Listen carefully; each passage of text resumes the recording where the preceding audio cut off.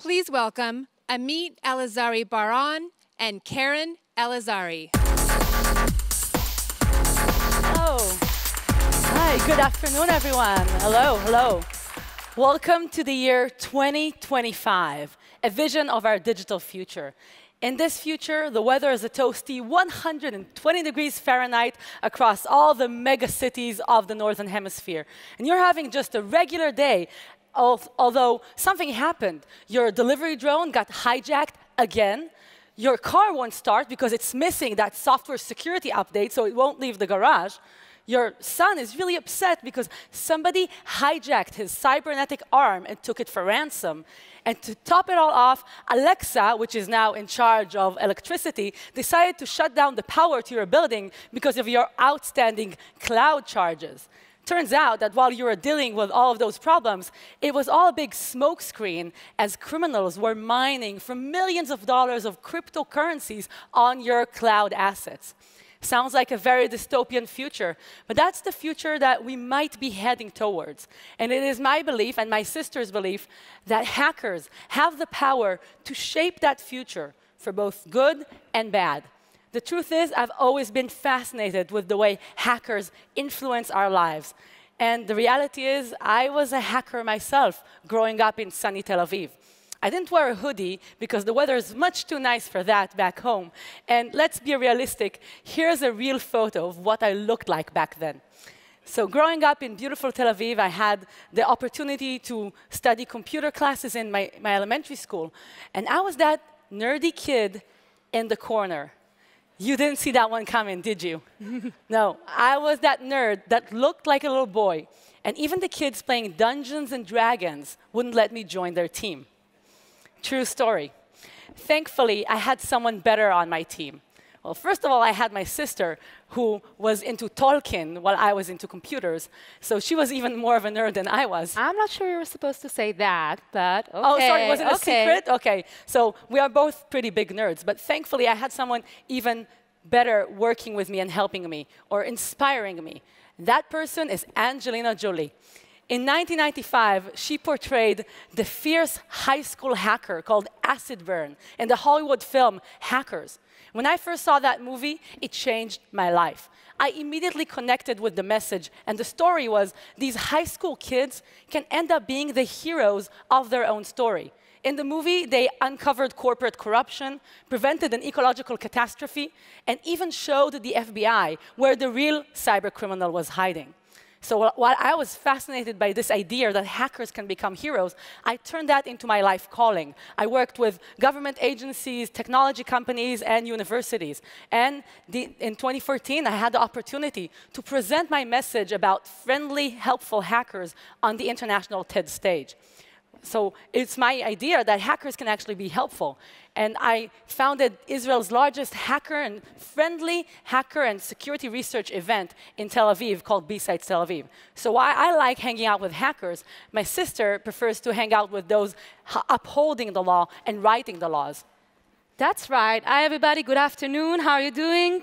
My name is Amit Elazari, and while I am a lawyer, I'm not your lawyer. And this talk is not legal advice. Three years ago, I moved from sunny Tel Aviv to sunny California to pursue a doctoral degree in technology law from UC Berkeley, where I still teach in the Master in Cybersecurity program. I believe that both contract and laws will shape our digital future. And while Keren was fascinated about computers, I was curious about how the fine print might either support or stifle security research. For so the past couple of years, I've been working with hackers and companies to build bridges, to basically create a contractual landscape where that collaboration can take place from a legal perspective.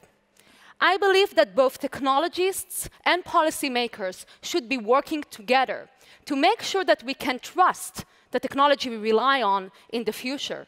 That's why I recently joined Intel, where we strive to build, to build a trusted foundation for the connected world. We are here together today to tell you stories from the future of cybersecurity. Stories told from both the hacker and the lawyer's point of view. So hang on to your seats, ladies and gentlemen. This will be a fast ride. The Elazari train is now leaving the station. And in this future, our first chapter, the first story that we want to begin with, is the story of how our life became more connected, more reliant on digital technology than ever before. And that means that the future of cybersecurity is no longer about protecting the secrecy of your passwords or your credit card number or maybe your Facebook information. No, our future is about the digital way of life that we have come to expect.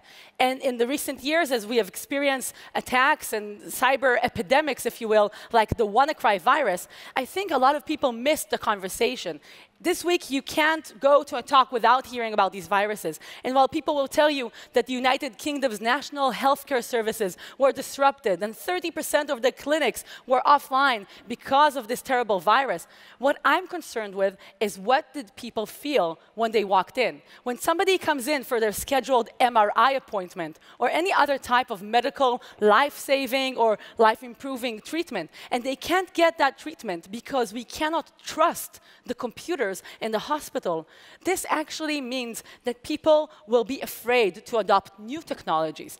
In fact, when this virus made its way to the information screens of German train stations, I had the same sinking feeling inside.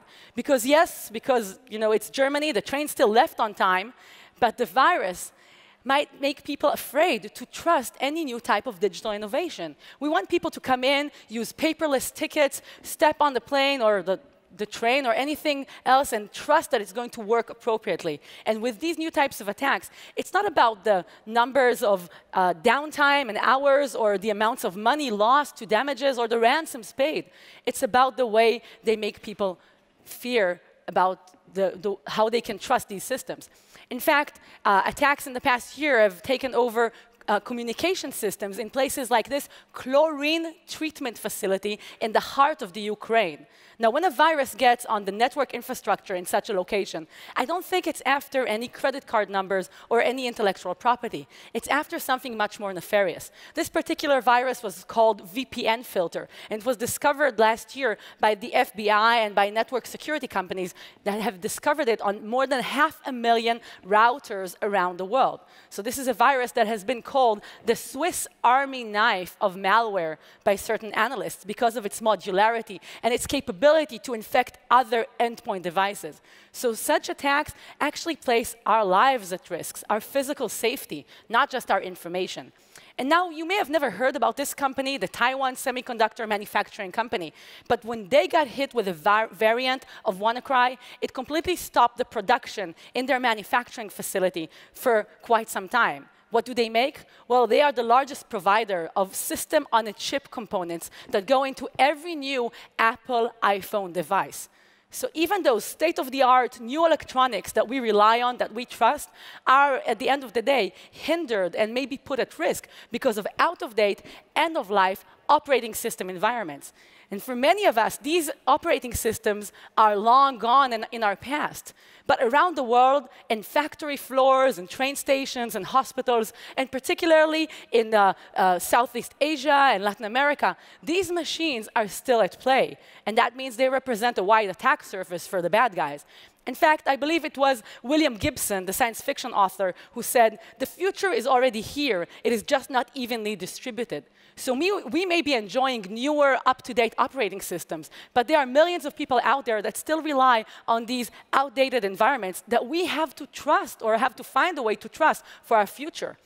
There is no way to turn that digital off switch because every organization, every nation, every citizen that adopts digital technologies is going to want to have those technologies with them. And people want to trust technologies. They don't want to be afraid to use them. And they don't want to have to do a, you know, 10 different things so that they can trust these technologies. So how can we build that trust?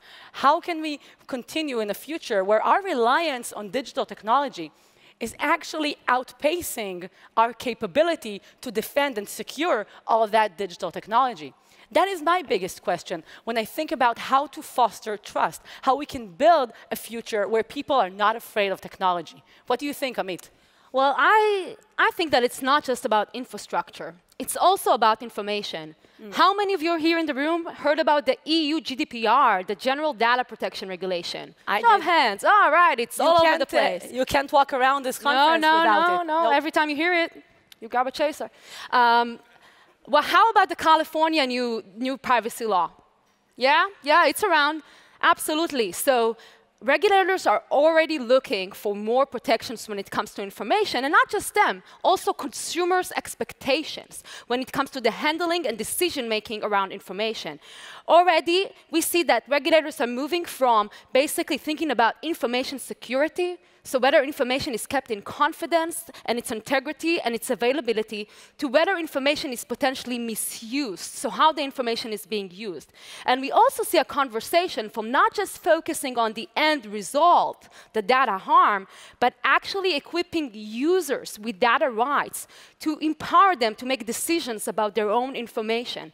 So already from May 2018 in Europe, and here starting January 2020, right here in California, users have excessive rights when it comes to what information is being collected from them, who is getting that information, and even rights to access that information and request to delete it all. That's the type of conception that we are basically uh, developed into. Now, not only that, regulators are also becoming more technological savvy. Here's one example. The Federal Trade Commission, the main consumer protection regulator here in the, here in the United States, well, they have technical stuff. And they also have a chief technical officer. And they are looking very closely into the security development lifecycle and security practices of sophisticated companies. From one example involving Uber and 47 million records of their users and drivers, the regulator actually looked at what controls and authentication protections were for Uber engineers when they're actually accessing a third-party cloud storage, and whether there was a two-factor authentication, and what was the level of permissions that were used after a universal permission key was accidentally leaked in plain view code on GitHub. But if you look at the consent decree, the settlement that Uber agreed to with the FTC, you would see that it's in fact going very, very into the fine details, the technical details, and it might even empower the security professionals, the security teams working at Uber.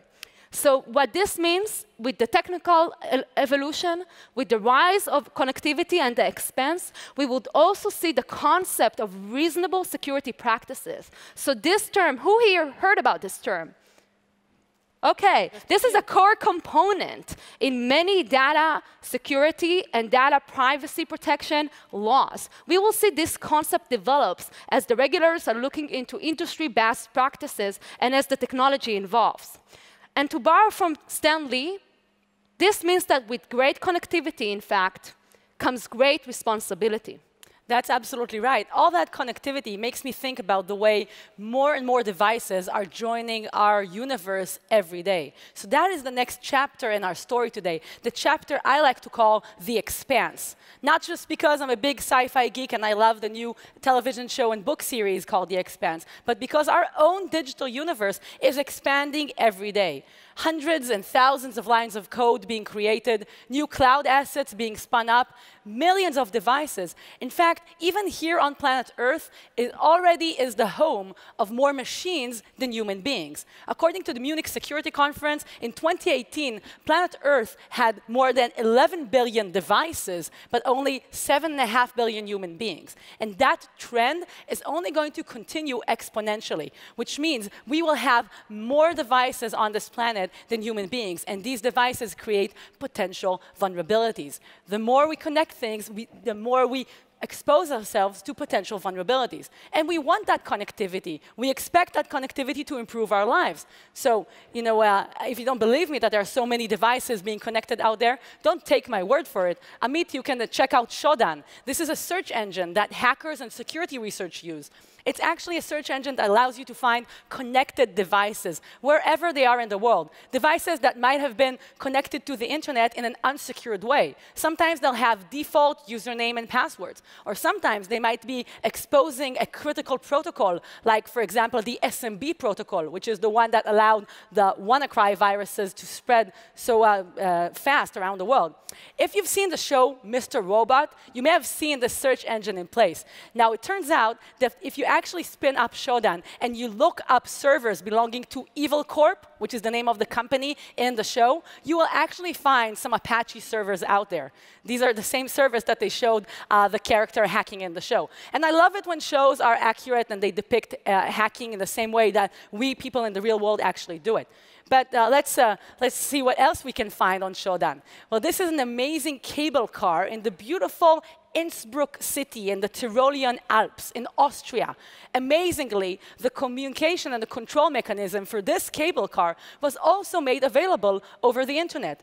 Thankfully, it was discovered not by a James Bond villain, but by two friendly hackers, security researchers from Germany, calling themselves the Internet Watchers. They discovered and were able to log into the systems because of outdating outdated operating systems, insecure passwords, and some very trivial vulnerabilities that were still at place. Thankfully, they reported this responsibly to the Austrian Computer Emergency Response Team, and they got the problem fixed. However, if we look around the world for servers still exposing that SMB protocol, still vulnerable to that EternalBlue vulnerability that powered attacks like WannaCry and NotPetya, you'd be amazed that two years after, a lot of servers are still exposing that SMB protocol out there. And this is from an open source tool created by another friendly hacker.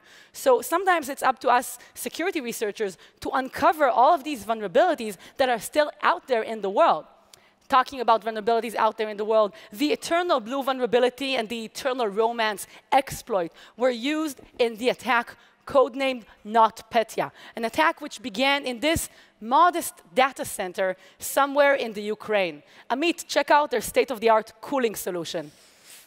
You should know I had just the same cooling solution when I was about 12 back home.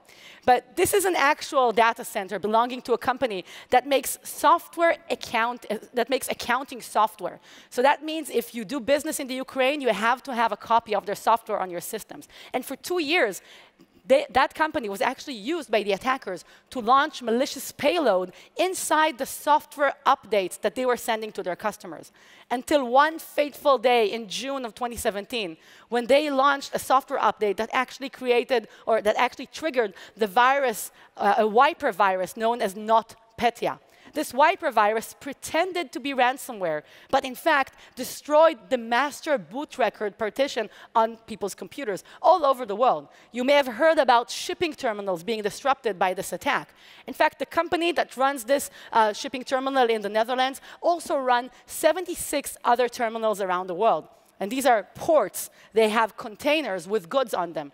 And they came out and said, this attack, this virus, may have cost us up to $300 million in damages and downtime. But when I see that, again, I'm asking, what about all those critical goods sitting in those containers? What about medicines, cars, foodstuffs that couldn't get to where they were headed because of a virus targeting out-of-date, end-of-life operating system environments, making its way through this company's systems based on just one computer having that software on it, that accounting software. So it's a pretty scary reality.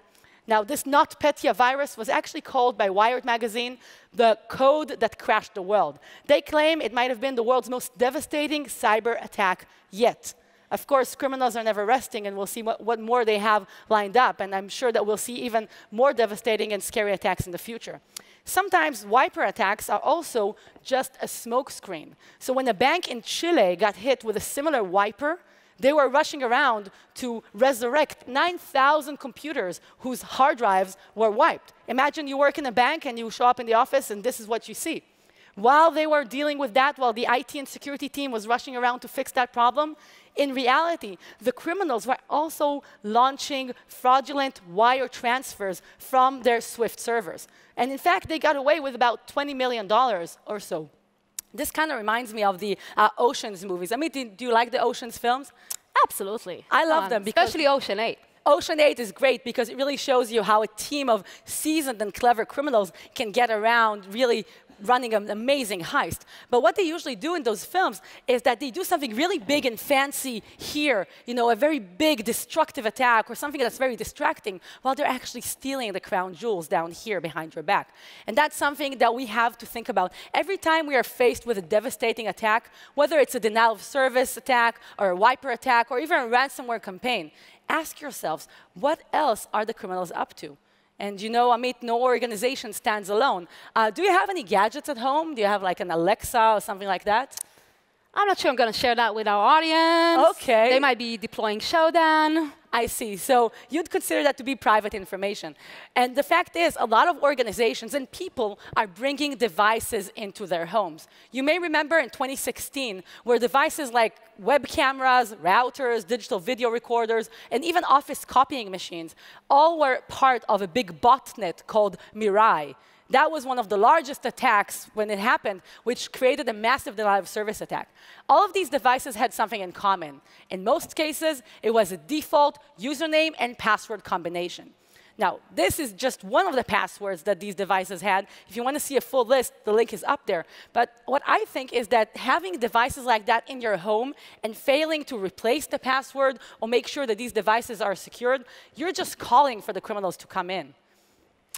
Well, you know what, Keren? I guess you're right that this needs to change, but there are some good news. This is in fact changing. So regulators are, are in fact looking into address that, this expense in connectivity. Here is one just example that we might see more of. Another law coming right here to California, January 2020, focus on IoT security. So this law basically applies to connected devices, devices that are capable to connect to the internet that either has a Bluetooth or an IP address, and it requires those devices sold to California To basically have proper and unique authentication measures alongside, of course, reasonable security protections. This means that in eight months, that's right, my friends, default usernames, default passwords are officially out of law for devices that are sold to Californians. And this is just one example. This, this is the type of, of regulation that we're probably going to see coming next to us with that evolving landscape when it comes to connectivity and technology, another thing that we are seeing is that corporations are basically looking into taking those best practices and basically shoving them downstream, down the supply chain.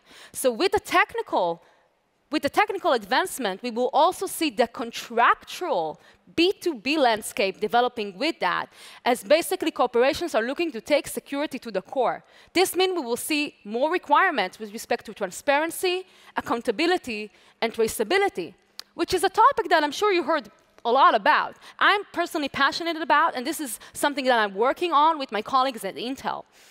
Bottom line, that if you want to hear a little bit more about this evolving landscape of IoT, I welcome you to my talk tomorrow, 220 at the Sandbox.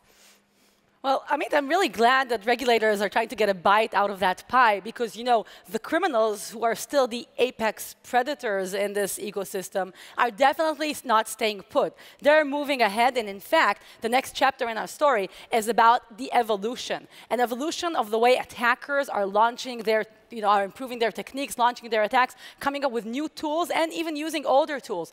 So while we sleep safely in our beds at night, doing the same things that we did two years ago or five years ago, waiting for the regulator to tell us what to do, the criminals are not waiting. In fact, their attacks are evolving in a variety of ways. They're going big and upstream, so they're attacking and going after network infrastructure devices. They're going after core components and operating system environments. They're using that much wider attack surface that's now available available to them, whether it's an IoT device or a cloud instance or uh, just you know some rogue Wi-Fi in the coffee shop next door.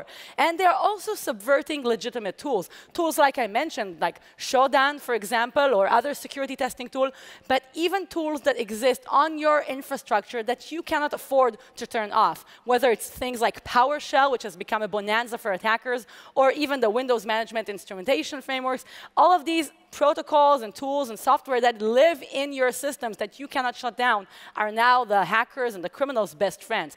Finally, we are seeing AI or adversarial machine learning starting to come into play. So how is this evolution coming through? Well, one thing I mentioned earlier is the way attackers are using scanning engines to identify a variety of open or potentially unsecured cloud instances. In the past year, criminals have managed to get their hands on unsecured Kubernetes or Amazon S3 buckets and mine for millions of dollars in cryptocurrencies. So that's not something we should expect in 2025. That's something that's already been happening in the past year. In fact, according to some analysts, cryptojacking or malware that will mine for cryptocurrencies has become more lucrative for certain cyber criminal groups than launching ransomware attacks.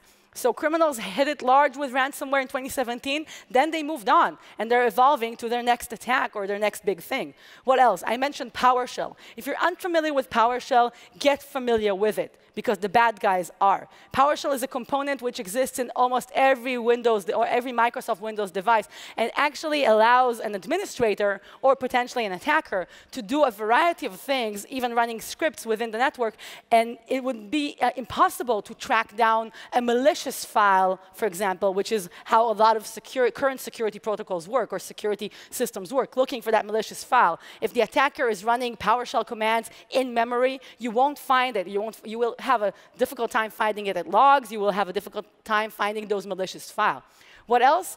Uh, how, who here in the room is familiar with Metasploit? I suppose a couple of you are. Well, almost a half of you are. Well, the other half that isn't, get to know the half that is, because Metasploit is one of the world's most popular penetration testing frameworks. It includes uh, known exploits for vulnerabilities that attackers and security researchers can use.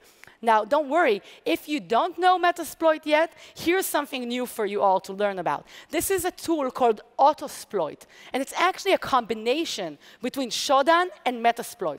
So somebody very clever created an integration between these two powerful tools. And now you have that massive scanning capability, that search engine, Shodan, with that weaponization capability, launching those appropriate exploits, and it's coupled together in a very simple package. Now, the person who created this, I don't think he's a bad guy, uh, although he hides behind that kind of Cloak and Dagger, he's got that nickname and that skull and bones persona. When I conversed with them, he said that he created this tool to show security professionals how criminals can use automation for their behalf.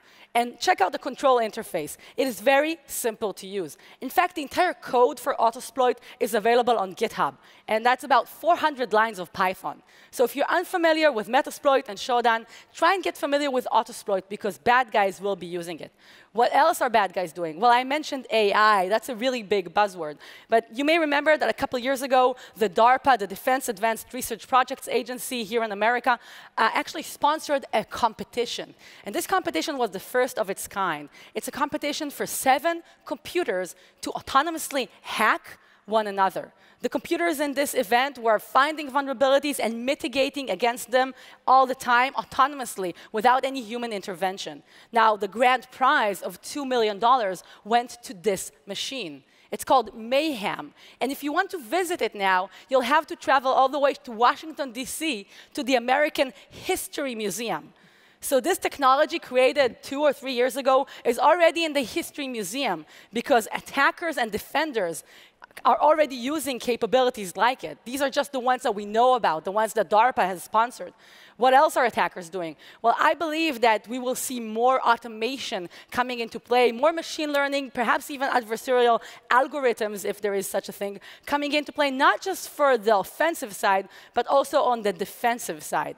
In order for us as security professionals to evolve, we don't have to be afraid that computers or robots will steal our jobs, but we do have to evolve with them. Otherwise, we will go extinct. And Keren, all that conversation sounds a little bit dystopian. With all this evolution in attacks, I'm wondering what companies can do. So this is another concept called hack back that we will see in terms of its legality developing in the future. This is the idea that companies can actually go after their attackers, so beyond their own networks to the attackers' networks, and potentially encrypt or otherwise disrupt or monitor what attackers are doing on their own networks. Now, the question is a legal one because we do have this federal law called the Computer Computer Fraud and Abuse Act, a federal law that basically criminalizes and create civil liability in cases that, that are damages for unauthorized access. Now, we do have another law called CISA from 2015 that allows private companies to deploy protective measures, defense measures on their own system. But the question whether you can go actually beyond those limits into the attacker uh, uh, premises, well, that's a little bit still out there. And with the evolving attack models, we will see that legal question develops as well. So technologies that you may have heard of or uh, things that are very buzzy these days, like active defense or deception, they might be very useful in this context, but they also depend on that legal framework making it possible for a company to even launch, to even launch such capabilities, even if it's within their own network. Well, this is indeed a little bit of scary stuff. I don't know what about you, Amit, but are you ready to move on from all this dystopia? I feel like kind of, I kind of am, yeah. Some opportunities, yeah. some clear skies. Okay, maybe, hopefully, when we head on out, the sun will be shining. Uh, here's hoping, right? Well, what is what is some uh, really big opportunity that I always try to invoke people to, to take advantage of, and it's out there and it's available to you. Those people who scare you, the people that look a little bit like me, that are weird, that might you know, have their hair a little funny, have tattoos, maybe they're wearing all black. Those hackers that you see out there, might just be your best allies. In fact, I think working with friendly hackers is the key to the future. That friendly offense that can help you and any organization identify the vulnerabilities, the blind spots, and actually help you develop better security measures out there. In my years on the hacker community, I have met some brilliant people that may not conform to your idea of what a security professional looks like, but they have a lot to contribute.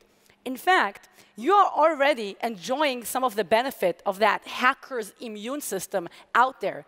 If you're clients of any of these companies and hundreds of other companies, you might actually be enjoying that benefit because organizations like these on screen, uh, some of your favorite coffee chains or airlines, car companies, favorite financial compute. Yes, of course, and a lot of technology companies, they're actually working actively with friendly hackers. This is in the context of something both Amit and myself are very passionate about.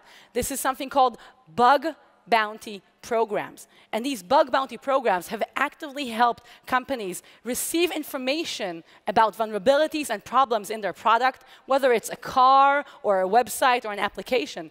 And they reward those hackers. The reward might be money, it might be something completely different. And it's not actually just technology companies and these innovative brands on screen. Even some of the most conservative organizations in the world have bug bounty programs in place. The Pentagon is one great example. In 2016, they launched a first of its kind Hack the Pentagon program. From the moment the program was announced and opened for hackers to research until they got their first valid submission, I heard it only took 13 minutes. Now, that is funny, but consider how many days, weeks, months, or years was that vulnerability out there on the Pentagon system. Now, there is no surprise that this program has proved very successful. In fact, government officials have come out saying that it is very efficient and that it's helped them uncover important information and get access to talent. More than that, this program is changing people's lives. That's right. And one such individual uh, that is not with, with, us here in the room, but actually a personal friend of me and Keren, we just met him this weekend, is Jack Cable. He's an 18 year old coder turned white hat friendly hacker.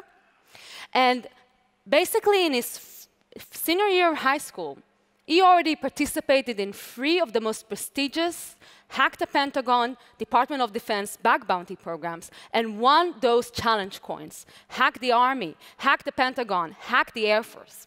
Amit, what are these coins? What, well, it looks pretty cool. Yeah, it's, it's pretty cool. It's okay. pretty cool. Tell me more about it. So these are, these are essentially symbolic rewards that companies give only to the most skilled of hackers, the best hackers working on their programs. And those are considered priceless among the friendly hacker community. And one more organization that is actually giving those challenge coins to their hackers is Tesla. Well, I have a surprise for you, another one. I'm not only just a Tolkien fan. Thank you, Keren, for that wow. NDA breach. No, I'm just kidding. Um, Never invite a hacker on stage with you. Lesson yes, learned. yes, lesson learned. Um, in fact, I have one Stitch coin, one of only 20 in the world that Tesla gave me. And if you're asking yourself, well, Amit, you told me you're a lawyer, but by the way, I, I have actually two bugs. I'm going to tell you about that as well. The reason I got this coin is because I've worked with Tesla and other companies in the industry to introduce legal protections for participating hackers into bug bounty and vulnerability disclosure programs contracts. And for the past couple of months, I've been working closely with a lot of industry players to basically standardize this landscape because the law is still murky. And there are some risks, and I gotta tell you, with, associated with being a hacker, right? And this is the idea that through contracts, through creating one language, almost like Creative Commons, if you're familiar, or an open source contract, we can actually set those expectations, set those legal boundaries, but also provide protections for hackers that are following the guidelines and are basically giving you evidence under the Computer Fraud and Abuse Act. Because there are laws at place, laws that essentially prohibit this practice of potentially exceeding authorized access. The Computer Fraud and Abuse Act and the Digital Millennium Copyright Act on the federal level, even, and even state law. And we need to be addressing that gap. So I encourage you to check out this, this initiative online called Disclose.io and some of the example, uh, examples out there, but always seek legal advice because the legalese of bug bounties and vulnerability disclosure is actually a very important question. And with this evolving need basically to foster that collaboration, we will need to balance between those anti-hacking laws that might stifle security research, but also serve to protect important business interests. And basically, the idea that we rely on those external researchers to uncover things that we, we are potentially not seeing and challenge and continue to challenge our perspective. So, one way that you right here can actually help to facilitate that, and you will have an important role in this landscape, is this idea of vulnerability disclosure programs. You heard about that? Right, that's another conversation going around. And the importance of these programs is basically creating a channel of communication, a program that outlines what are the expectations, how to contact your organizations, and sometimes also what are the potential legal ramifications, whether it's a safe harbor or, or other issues. Now, if you do not have that program, not paying for bugs, but just basically establishing those, uh, those expectations and maintaining an internal and external program with respect to how you're going to handle vulnerabilities? Well, I got to tell you, you're already behind. Remember the FTC? Our main consumer, consumer protection regulator here in the United States? Well, at least in two cases, they actually, they actually alleged that not having that program, not having a process to receive and handle vulnerability disclosure reports coming from external researchers is in fact together with other circumstances, a potential unreasonable practice under the FTC Act. So this is one of the kind of key issues that we are seeing developing with the need to foster that collaboration. And the reason why we need to think about it is that there is a culture of legal risks out there. And Keren, I'm sure that you know, walking around and talking with hackers, you're potentially hearing about, about that as well. Surveys uh, with more than 400 researchers show us that more than 60%, six zero, of researchers said that fear of legal threats and legal implications was in fact a consideration when they were in that point of, of time thinking about disclosing your organization that potentially million dollar bug. So I can, I can also say that from my conversations with friendly hackers out there, when, they're when they find something, when they stumble onto a problem, one of the first things that they ask is, okay, is this a company that's going to be friendly towards somebody like me reaching out to them? Is this a company that has a website or any information on their, uh, let's say, social media platforms that says, here's how to contact us if you find a security problem. Here are the terms of that conversation. And this is something that friendly hackers are absolutely concerned with and thinking about. Yeah, absolutely. So you're probably asking yourself, well, Amit, what I can do? Because this seems very legally complicated. And you're right. First of all, seek your own legal advice. Someone told me that if advice is free, it's probably not legal advice. Mm. But in any case, uh, we do have some good news. We do have some best practices and standards out there. And this is just one example really focused on the legal part of things the Department of Justice uh, on July 2017 basically issued guidance on some recommendations and considerations that companies should be looking into when they are seeking to collaborate with that crowd, when they're either establishing a bug bounty program or a vulnerability disclosure program in place. Now, why should we basically take a careful look at that document? First of all, it's not very long, and it doesn't have long footnotes, which is a surprise in the legal landscape, uh, but it's only seven pages, and it's coming from from the Department of Justice Computer Crime Divisions. So the absolute experts on the CFAA, on the Computer Fraud and Abuse Act. And I encourage you all to take a look and take a deep dive into that document and see what you can bring for that document into your own practices. Well, if we're able to do that and we were able to establish those best practices and basically foster that collaboration and even address some of the legal risks, then we might see the application of this ecosystem and immune system idea to new horizons. Here's one example, applying Linus law that basically giving enough eyeballs, all bugs are shallow, to machine learning processing basically using the crowd of algorithmic auditors to uncover potential bias and discrimination in machine learning processing. And not just that, even in privacy. And this is kind of how I got my first bug. Yeah, you got a bug you just Yeah. I have uh, 15K. Not bad. $15,000 in so. You're buying fact, dinner. You're in, buying dinner. I'm actually going to Tao with my lab with that oh, money. Okay. So sorry, that's happening Friday. Um, but the true story behind that, uh, that I was a bug recipient under this program. Last year, Facebook introduced an expansion to their security bug bounty program. They basically introduced a new program that seeks to incentivize whistleblowers, essentially, and external researchers looking into potential privacy violations and violations of terms of use by third parties. And if you want to hear the story about my own uh, personal uh, reward, this is it.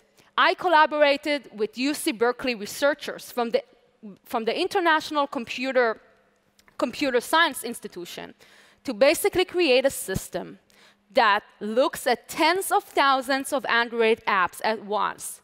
Dynamic analysis. What is being collected? Is it encrypted? And who is getting that information? And this is a type of privacy enhancing and security enhancing technology that we will see coming forward. The requirements, the regulatory requirements, are actually an opportunity to introduce that innovation that brings security and privacy to the core, and most importantly, empowers users. So not only did we publish the paper, and yeah, absolutely, you know, we have the, the full data set, you have access to. You can go into that website called App Census, put the name of the app, and look at what is potentially being collected, what type of personal identifiers. Is it encrypted? And even who is getting that information. So that type of technology is what we're going to see next with basically user decision making at the front.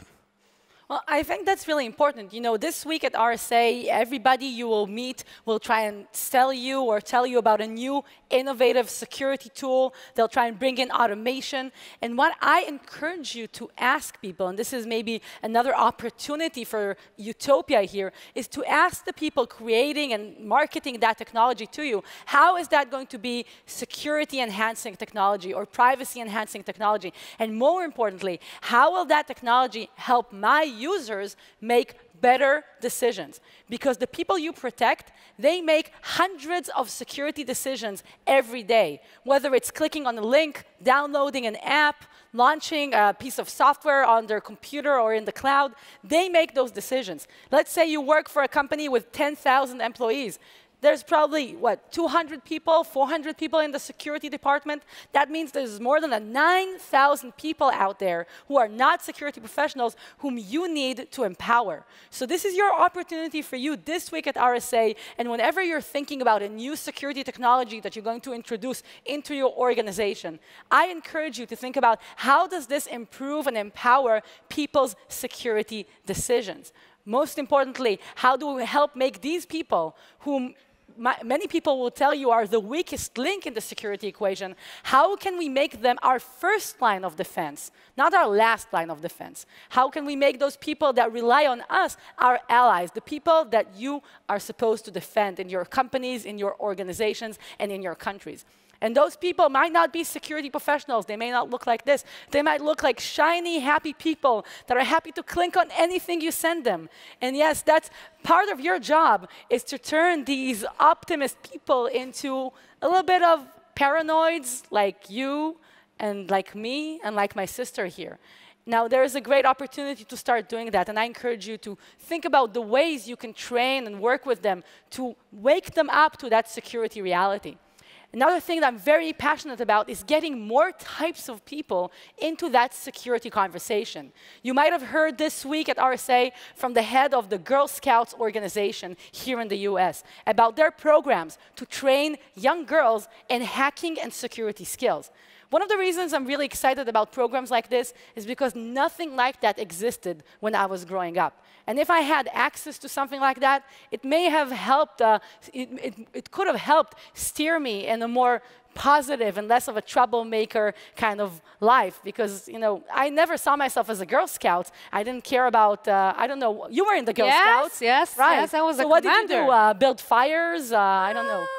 Mostly buildings, yeah, wood, buildings from Wood, fire, yeah, okay. It was fun. But you also did a lot of social service. And I think that's what's really remarkable about this initiative. Taking these girls that are committed within their own local communities and training them with skills to make themselves safer and teach and train other people about important security topics. What's more, and that, this is something I'm, I'm super excited about, it is hopefully going to help balance out or impact that gender gap that we do have in our industry. And that is something I also like to think about a lot. In fact, um, I co-authored this book called Women in Tech, which has become an Amazon bestseller in the last couple of years. If you'd like your own copy, we'll be doing a book signing of the book at the RSA bookstore right after this session. Now, in the book, what we did is we brought different opinions. We've brought women who are heads of engineering or women who are working on apps themselves, entrepreneurs, to share their stories, to share their point of view. And I shared my hacker point of view. And my point of view is that just like Amit is a lawyer and I'm a hacker, we need all kinds of people in that conversation. In fact, when I go to hacking conventions these days, one of the things that makes me super happy is seeing kids kids that come out there with their parents, kids from all walks of life, all ethnicities, and all backgrounds, kids that believe that learning about hacking is an important key for their future. And that's something that really makes me very hopeful. So perhaps there is some blue skies and sunshine out there. Uh, what do you think, Amit? Can we look to the future with some optimism? I How think do you so. see it? I think so. Well, one of the first keys for, for that safer future, from my point of view, is learning how to work with friendly hackers. And I can tell you, Amit learned that lesson herself, didn't you? Yeah, absolutely. I mean, uh, I can share with you right here that the reason why I am in security is because of Keren. Keren, in fact, is the first friendly hacker I interacted with, and those conversations between me and Keren inspired me to do this work and to dive into computer crime law and intellectual property laws. So essentially, the conversations that you have here, even this week, the relationships that you build, the plant of seeds of, of trust that you plant right here this week will have an effect, an impact on the future of cybersecurity. And this is exactly what we need to facilitate that trust, to basically bring those innovations that focused on privacy and security. So you should be able to have that trust in place when you speak with a security vendor or with your colleagues or with the people you defend. And focusing on building those, uh, that trusted infrastructure for our future, I believe is the most important opportunity that we can take advantage of. If we put that thing on the top of our minds, and if we put people first, if we think about not that shining new um, machine learning technology that we can bring into the data center, but how is it going to change people's decisions? How is it going to improve those people's lives? I'm hopeful we can see that bright blue skies and sunshine ahead. Now, we've given you some of our thoughts about this. Now the chance is in your hands, the opportunity is in your hands to either take the red pill and wake up to the hacker reality or take the blue pill and go back to the way things were before. But we're very hopeful that we can see you together in that brighter future ahead. Thank you very much for your time and your attention today, and we'll see you in the future. Thank you. Thank you.